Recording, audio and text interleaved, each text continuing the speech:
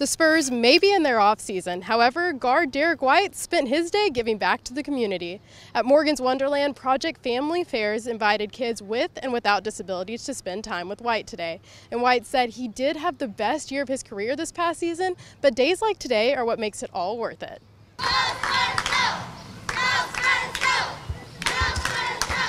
Yeah, I think this is awesome.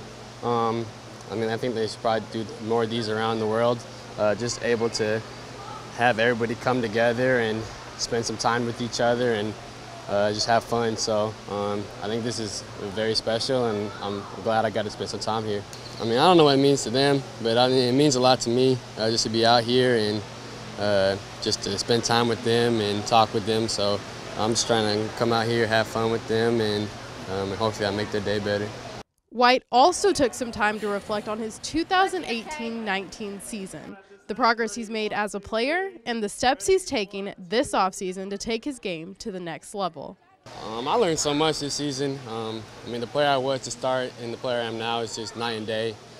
Um, it's just something that I can just build off of, um, learn from the mistakes and uh, learn what works, what doesn't work, and uh, just try to build from there. Yeah, I just I've been in the gym, uh, trying to work on things, focus on a couple things here and there.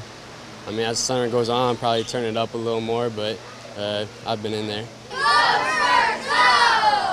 White also mentioned that these kids serve as a great inspiration, and after this, he might go back to the gym and get shots up for the second time today. For Morgan's Wonderland with Sports2Nite, I'm Koral Riggs.